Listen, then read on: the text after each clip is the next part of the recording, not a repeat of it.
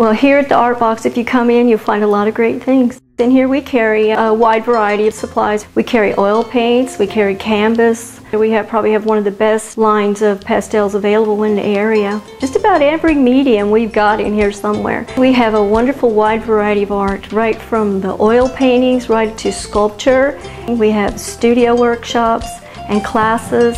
We do specialty framing here. We frame things that are very difficult to frame. We don't have something or can't do it for you, we can find a good qualified artist for you to complete whatever projects you need. We are located in Pawleys Island between the two causeways, almost midway. We're easy access right off of Highway 17. We are a very unique working studio. We have a lot here to offer, so come and see us.